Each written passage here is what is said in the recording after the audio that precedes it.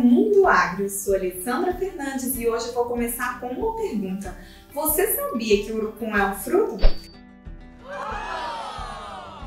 No vídeo de hoje você vai descobrir que ele está deixando de ser apenas um corante natural e se tornando um alimento funcional.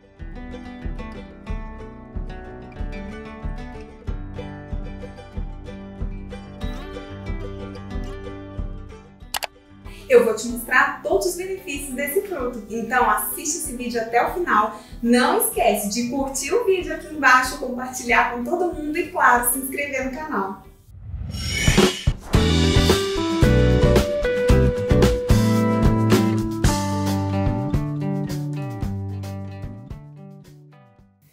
Urucum é o fruto de uma árvore chamada Bixa orelana. Ela é natural da América tropical e essa árvore também é conhecida como urucueiro ou urucuzeiro e pode chegar até 6 metros de altura. Muita gente acha que o urucum é o mesmo que o coloral, mas na verdade o coloral é um produto derivado do urucum. É a mistura de fubá, sal, óleos vegetais e as sementes do urucum trituradas. Essa mistura resulta num corante bem avermelhado, muito usado na culinária.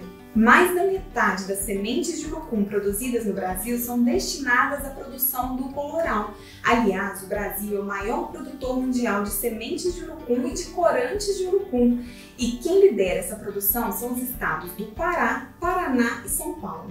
O clima ideal para a produção de urucum é entre 20 e 30 graus. O solo deve ser fértil de boa qualidade e de preferência bem drenado. E a melhor época para plantar o urucum é sempre início da estação chuvosa. A sua propagação é feita a partir de sementes e uma dica importante é semear essa semente logo após ela ter sido colhida. Já no primeiro ano de idade do urucueiro, há a produção de frutos e aos 4 anos de idade da planta elas já são consideradas adultas e atingem o máximo potencial produtivo. Além de ser utilizado na culinária e na indústria alimentícia, o urucum também é muito empregado nas indústrias de cosmético e de tecidos. Suas sementes são também tradicionalmente usadas por índios como matéria-prima para tintas repelente e protetor solar. O que muita gente não sabe é que esse fruto é cheio de benefícios para a saúde. O urucum tem grandes propriedades antioxidantes, ou seja, previne o envelhecimento, e é rico em propriedades antimicrobianas, prevenindo o crescimento de fungos e bactérias. Além disso, é rico em carotenoides importantes para a saúde ocular, é bom para o coração e reduz inflamações.